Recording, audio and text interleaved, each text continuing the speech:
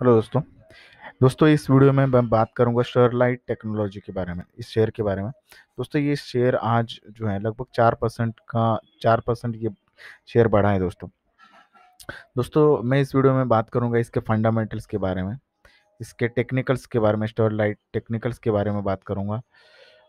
मैं जवाब दूँगा कि ये जो शेयर है, ये मल्टीबेगर बन सकता है कि नहीं?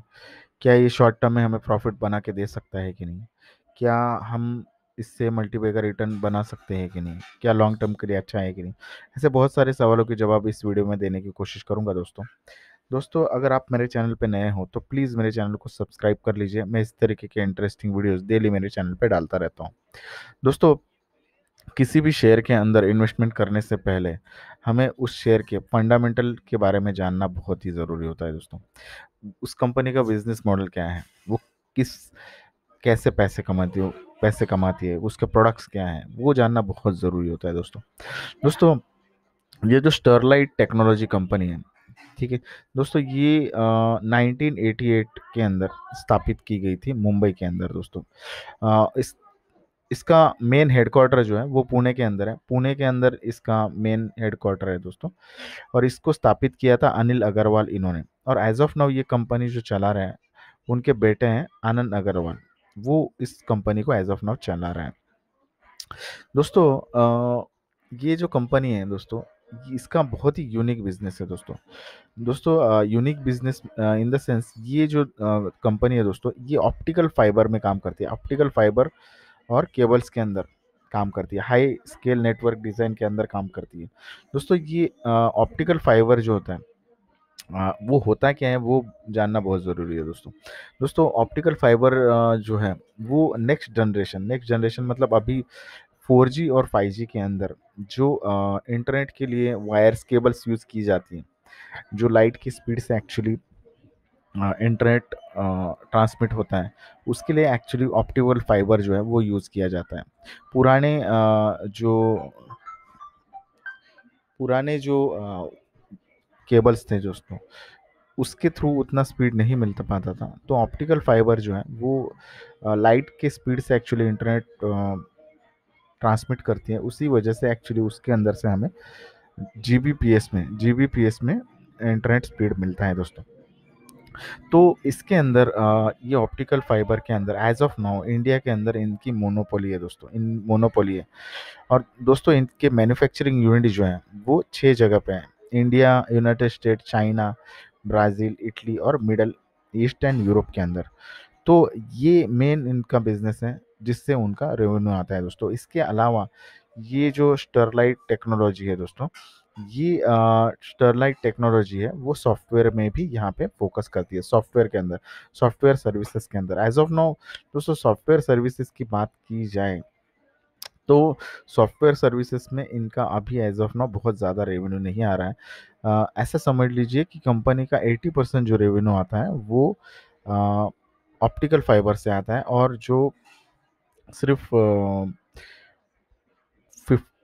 twenty five to thirty percent revenue जो है वो सॉफ्टवेयर सर्विसेज़ से आता है। और कंपनी ने ये एक्चुअली डिक्लेयर किया हुआ है कि कंपनी आगे जाके जो है, वो सॉफ्टवेयर सर्विसेज़ के अंदर भी उनका प्रेजेंस लाने वाली है दोस्तों। दोस्तों अब बात कर लेते हैं इस कंपनी के कुछ की पॉइंट्स के बारे में।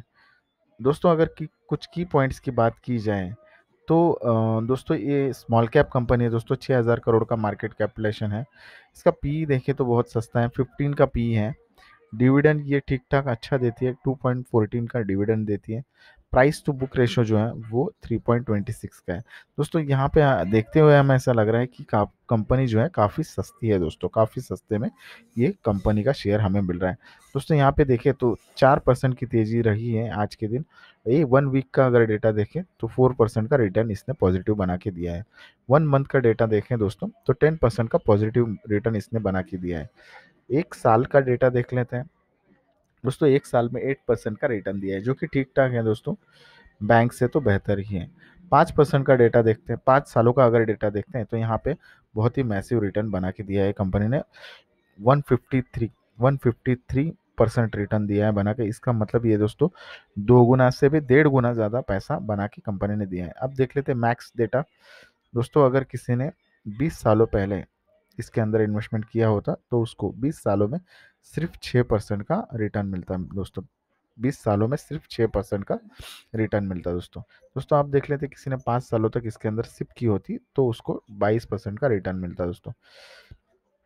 अब देख लेते प्राइस फोरकास्ट नाइन एनालिस्ट इसको एनालिस्ट ने इसको एनालाइज किया हुआ है और सिक्सटी सेवन एनालिस्ट इसको बाई की रेटिंग दे रहे हैं। दोस्तों हाइयर रिटर्न एक्सपेक्टेशन है। हायर साइड में वो 187 तक जा सकता है और 14 परसेंट ऊपर जा सकता है। मीडियम रहा तो यहाँ से नीचे जा सकता है और 162 के लेवल दिखा सकता है।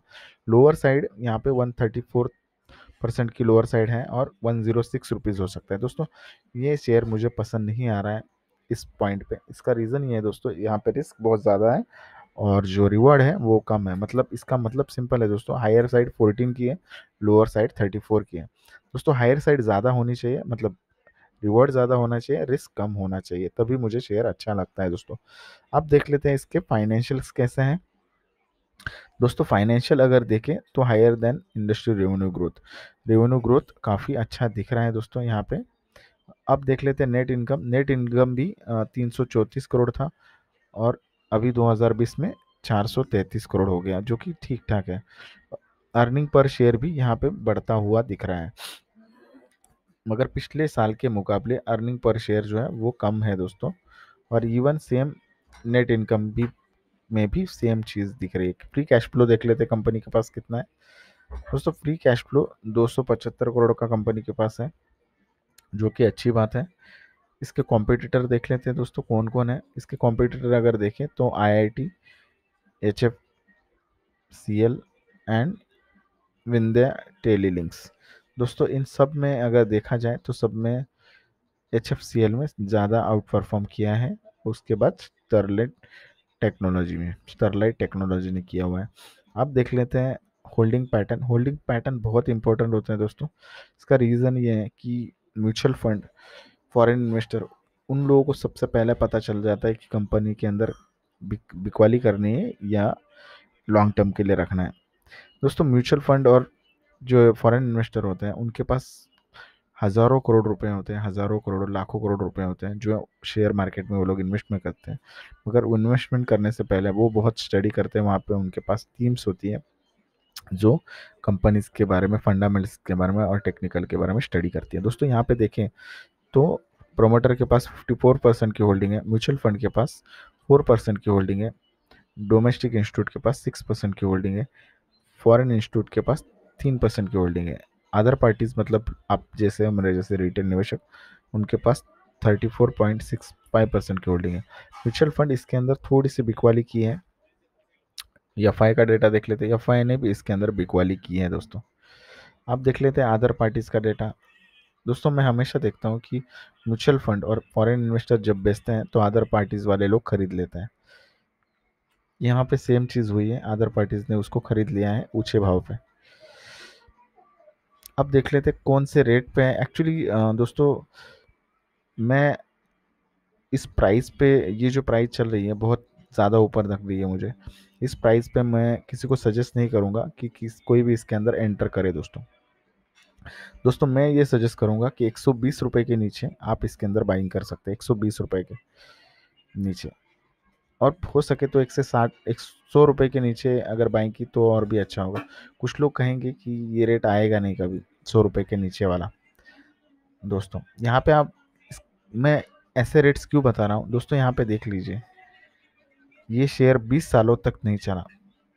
फिर एक बार चला एक साल के लिए चला, एक साल में तीन चार महीने के लिए चला और उसके बाद वो गिर गया दोस्तों। यहाँ पे जिसने, यहाँ यहाँ पे जिन जिन लोगों ने ख़रीदा होगा, उनकी हालत क्या होगी दोस्तों? आप सोचिए ज़रा। गिरते हुए भी रिटेल निवेशकों ने इसको ख़रीदा होगा और अभी भी 20 सालों तक उन्होंने पकड़ के बैठे हुए होंगे कि ये शेयर का भाव बढ़ेगा। दोस्तों, ये जो है ना, ये रेट्स पंद्रह सोलह रुपए के जो रेट है, पचास रुपए के रेट जो है, वो वापस से आ सकते हैं इसके अंदर। वापस से यही स्थिति इसके अंदर हो सकती है। तो मैं ये कहता हूँ दोस्तों, अगर आपको जुआ खेलना है, मुझे लग रहा है ये शेयर थोड़ा सा ऑपरेटर की कंट्रोल में है ऐसा मुझे लग रहा है दोस्तों। तो मैं ये सजेस्ट करूँगा कि आप इस शेयर के अंदर अगर बाइंग करनी है तो कम रेट के अंदर करिए और पैसा जो है बहुत कम लगाइए। आपके पोर्टफोलियो का एक परसेंट से भी कम पैसा इसके अंदर लगाइए दोस्तों। थोड़ा रिस्की शेयर है, इसलिए मैं किसी को रिटेल निवेशकों को तो सजेस्ट नहीं कर रहा दोस्तों। अगर किसी को इसके अंदर खेलना भी है तो पैसे कम लगाइए दोस्तों। मैं इस शेयर को मेरी तरफ़ से ना है दोस्तों। Thank you so much for watching this video.